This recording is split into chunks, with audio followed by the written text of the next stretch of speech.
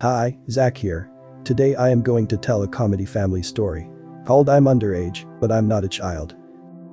Oriyama Karen is the daughter of a billionaire businessman, Oriyama Kazuki. She has been treated like a princess from a young age and knows little to nothing about the world outside her mansion. Karen has everything she wants, and her only dream is to marry a prince one day. On the morning of her 16th birthday, her personal bodyguard Kaburaki and the maids wake her up and carry her to the bathroom. Karen, who is still half asleep, doesn't realize she is being picked up. They bathe her and get her ready in her school uniform. After being pampered, she is told that she has received gifts from several billionaires from around the world like Mark Zuckerberg and Bernard Arnault. She is then seated in her limo and driven to school like usual.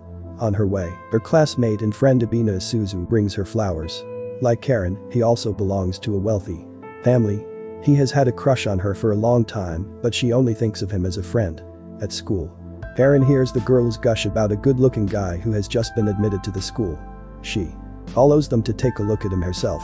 Like the other girls, Karen is also mesmerized by Nao. Tsurugi's beauty. Watching him play football, she instantly feels attracted to him.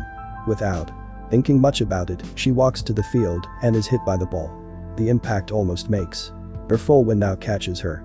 Because of the gesture, the princess falls in love with him. In the evening, her parents throw an extravagant birthday party for her. They sing, dance, and have a lot of fun. For her gift, Karen is given a wedding dress. It turns out that the prophet had told her father that she is bound to get married the day after her 16th birthday. The husband will turn Karen into a better person and will provide her lifelong happiness. Karen refuses to marry anyone who is not Nao. She throws a fit, breaking the utensils and destroying the place without letting her father explain himself. Only after he shows her the picture of her future husband does she realize that she is being married to Nao. Kazuki has bought her a husband of her choice for her 16th birthday. The following day, she and Nao are at the altar. When they are asked to exchange rings, he claims that since they are keeping their marriage a secret, it is better if they skip that part. Karen is ready to do as he says so she doesn't object. Since they are too young to be married, they have decided to not tell anyone at school. After the wedding, he brings her to his house that only has one bedroom that is the size of her closet at her mansion. She is told that she will have to adjust now that her husband is poor. Karen is skeptical about how two people are going to fit in the house, but she trusts her husband to make her feel comfortable.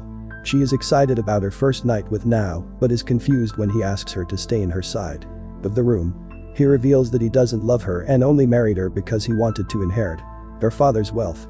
He calls her shallow for choosing him because of his looks and also says that he hates her. Karen falls asleep hoping that everything that happened is just a dream. When she wakes up the next day it is already 10 p.m. She doesn't have a habit of waking up on her own so she is late for school. The landlady tells her that Nao left early in the morning. Without her, Karen tries to take a shower but doesn't know how to turn on hot water. Getting ready for school is difficult for her without the help of her maids. After struggling to do basic tasks the entire morning, she leaves for school but gets lost in the way. After wandering around the city for hours, she reaches school when it is already over. Isuzu asks her where she had been all day but Karen cannot tell him because then she would have to explain that she got married. When she reaches home at night, a furious Nao is waiting for her to explain the mess she had made. In the house, she cries about not knowing how to do simple tasks which makes him feel bad for her. Starting the next day, he promises to help her get used to the new lifestyle. He teaches her to turn on hot water, to clean using a vacuum cleaner, and to cook instant ramen. In only a few days, Karen gets used to her new life. One day, she cooks a meal for him which surprisingly tastes delicious. However, Nao soon finds out that she used almost half of their monthly allowance for the meal. As he starts to panic, Karen simply calls her father, Kazuki to ask for money. The pair is called to the mansion, where they explain the situation to her father. He offers to help them, but Nao declines it. He wants to live on a budget and not take advantage of Kazuki's kindness. The parents are impressed by his wise words. At night, the couple stays at the mansion the next morning when they are about to leave, Karen apologizes. To the cooks for always throwing their food away. After she started to cook for herself she realized how difficult of a task it is. Her parents and bodyguard Kaburaki are shocked. They erupt into cheers claiming that this is the first time she has apologized to anyone. During school lunch, the pair sit at different tables to not seem suspicious. Karen's friend Isuzu notices her.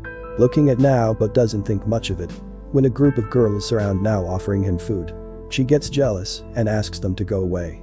When she realizes what she did, she makes up an excuse and sits down quietly. A girl named Saya looks at Nao and walks away angrily. Nao calls her by her name which makes Karen even more jealous. On reaching home, she confronts him about Saya, but Nao refuses to talk. When she insists, he storms out of the house. They see each other again in the morning, but do not talk. Karen makes it her mission to find out about Saya and Nao's relationship. She hardly has to do anything because Saya approaches her during lunch break and asks her if she is dating Nao. Karen wants to tell her she is married to him, but she refrains from it. Saya assumes that they are dating and asks her to break up with him immediately. She claims that he is only dating her for money and will leave her once the school debt is paid.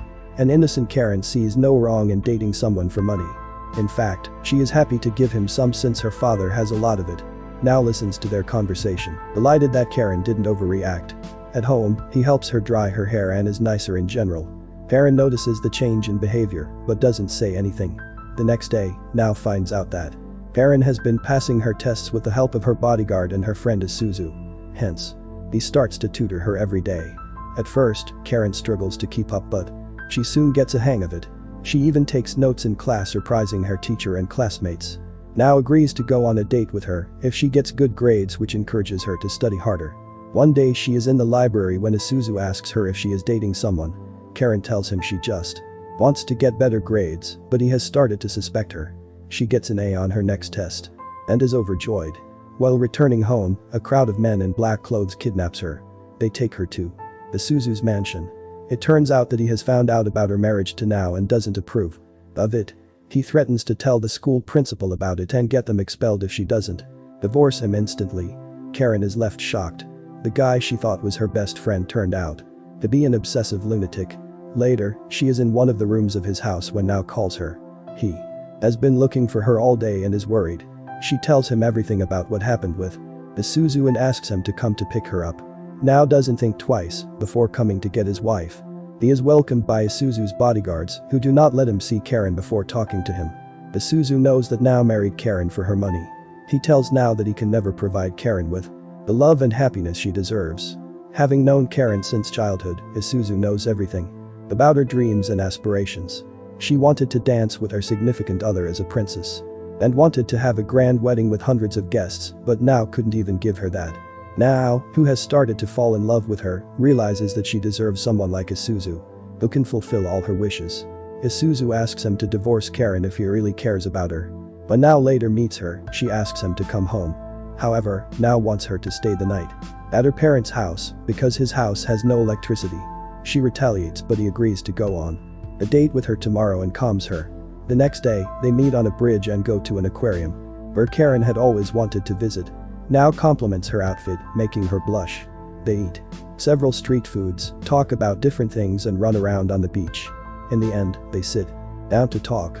Karen lists all the things that she has noticed about Nao, like the fact that he hates the noise of utensils breaking. He reveals that his mother used to break stuff when she got mad.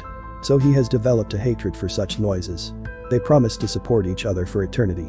And ring a bell on a shrine. Right after, Nao suggests they get a divorce. Karen returns home shocked and devastated.